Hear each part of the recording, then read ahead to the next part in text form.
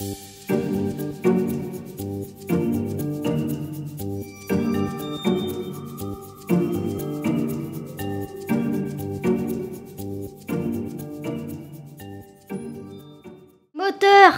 Ça tourne En début d'année, nous avons fait un brainstorming pour trouver notre question de recherche. Nous avons décidé de travailler sur l'intelligence artificielle à travers trois projets différents. Des jeux de code secrets en rapport avec la Première Guerre mondiale.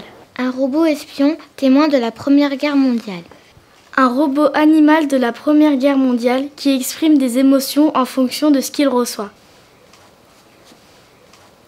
Nous avons recherché quel type de robot nous pourrions avoir pour créer un programme et le faire communiquer avec des vraies personnes.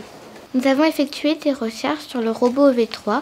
Nous avons vu qu'il possédait des possibilités intéressantes avec ses différents capteurs. Il peut émettre un son et plein d'autres choses. Nous recherchions des programmes pour faire des robots animaux. Pour faire un jeu de nombres intelligents, on peut partir d'un programme d'ordinateur. Il n'y a pas besoin de construire un robot, un simple écran suffit, d'où l'intérêt du chatbot. En réfléchissant sur l'intelligence artificielle, on s'est rendu compte qu'on se posait des questions sur l'intelligence en général. Nous avons rencontré plusieurs fois notre mentor Vincent Barra sur Skype, ainsi que François Jourde, qui est un professeur de philosophie. Pour créer un programme en intelligence artificielle, il faut d'abord réfléchir à son utilité, puis écrire un scénario, un organigramme, et l'enrichir au fil du temps. François Jourde, il nous a expliqué d'où venait le mot philosophie et à quoi ça servait. Il nous a aussi dit euh, qu'Aristote avait imaginé déjà euh, dès l'Antiquité des machines qui pouvaient remplacer l'homme dans les tâches pénibles. Nous avons commencé à réaliser nos organigrammes, puis nos programmes en nous entraînant sur Scratch.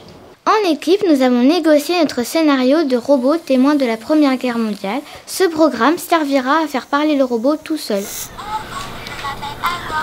marche.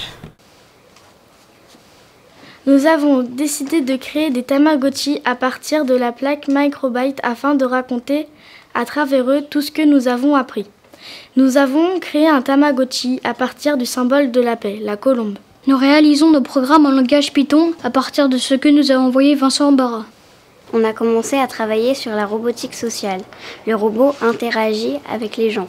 Par contre, on s'est posé une question. Si le robot va dans le passé et il tue le grand-père de son créateur, est-ce qu'il peut exister? Nous avons créé des enveloppes corporelles pour les Tamagotchi, en tissu, en laine, mais aussi en carton. Nous avons réalisé des affiches sur les animaux pendant la guerre et des recherches sur les euh, langages informatiques. Après avoir donné un corps à notre robot, nous lui avons fourni un programme que nous enrichissons au fil des séances. Nos programmes sont assez riches, mais nous essayons d'en créer des nouveaux, mais c'est difficile. D'île en île, nous avançons dans le monde de la recherche.